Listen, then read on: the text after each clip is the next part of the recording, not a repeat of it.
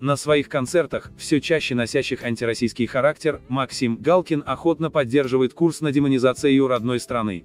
За последние полтора года шоумен неоднократно высмеивал российских военных, а кроме того, скандировал националистические кричалки. Так что опальному муженьку беглой Примадонны уже практически нечего терять, да и возвращение в Москву ему не светит. На днях Максим Александрович вновь покусился на святое, решив исполнить культовый хит Виктора Цоя «Звезда по имени Солнца». До сих пор непонятно, хотел ли Галкин перепеть или попросту спародировал покойного артиста, чьими песнями заслушиваются уже несколько поколений россиян, но результат оказался чудовищным.